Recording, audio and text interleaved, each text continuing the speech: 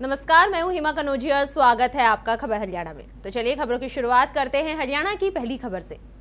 हरियाणा के मुख्यमंत्री मनोहर लाल खट्टर बराड़ा में कई परियोजनाओं का शिलान्यास करने पहुँचे। वहाँ पहुँचने पर पार्टी के नेता और कार्यकर्ताओं ने उनका स्वागत किया। बराड़ा में अनेक गाँवों से लोग वहाँ आए हुए थे। अम्बाला के सांसद रतनलाल कटारिया, नारायणगढ़ से राज्य मंत्री नायब सैनी अम्बाला से विधायक असीम गोयल सहित और नेता मौजूद रहे। इस अवसर पर उन्होंने गांधी जी के जन्मदिवस पर लोगों को बधाई दी। वहाँ उन्होंने अपनी सरकार की उपलब्धियाँ भी गिनवाई।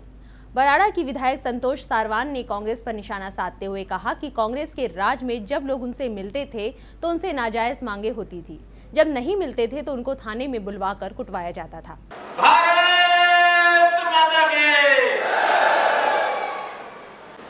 एक ऐसा संयोग है कि नवरात्रों का यह दूसरा नवरात्र देश की दो महान विभूतियों का विभूतियों का जन्मदिन है। दोनों ही अपने अपने दृष्टि से बहुत ही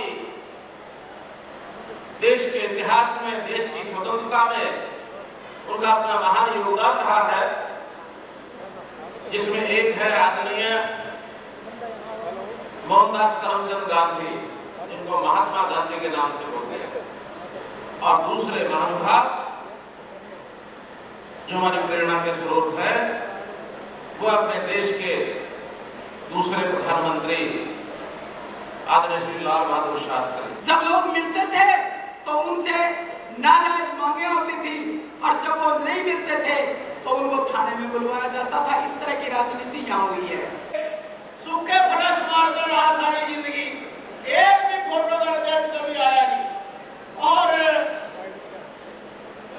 वजह से क्षेत्र पिछड़ता चला गया।